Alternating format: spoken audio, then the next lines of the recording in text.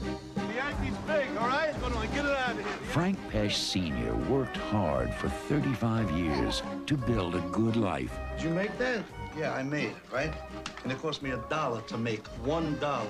Pop, you get better pizza in Korea. Who the hell made that? Michelin? Well, you put it in the trunk and use it as a spare. To raise a loving family. Do you see my service revolver around? So I gotta do everything around here. I gotta find your gun. Maybe I should ride in the car with you. To have his own lawn. Get up.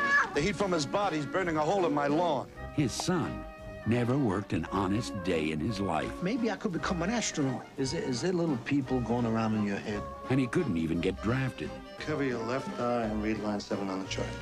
Tagathorn. Is there something wrong with you, boy?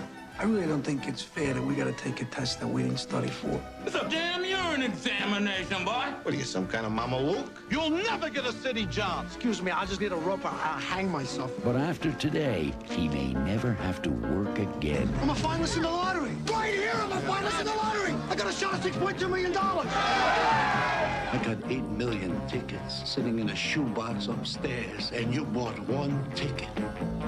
I'm lucky. God protects the dumb. Salud! This is my girlfriend Sheila. She's been dying to meet you, Frank. Got the lottery ticket on you?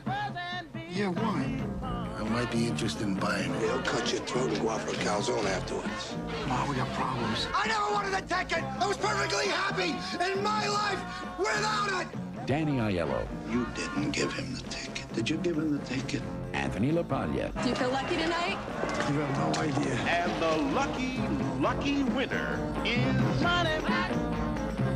29th Street. Frankie! Frankie!